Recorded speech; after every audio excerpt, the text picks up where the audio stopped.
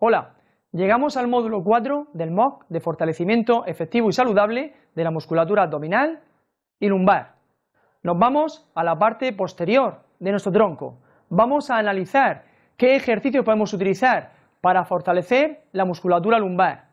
Vamos a analizar aquellos ejercicios que nos permiten trabajar toda esa zona, como por ejemplo la elevación de la pelvis, la extensión del tronco, así como otros.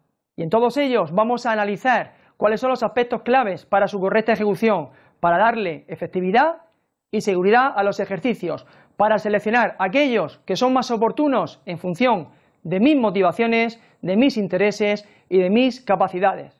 Así en este módulo 4 nos vamos a la musculatura lumbar y analizamos todo lo que la literatura dice sobre ella. Empezamos.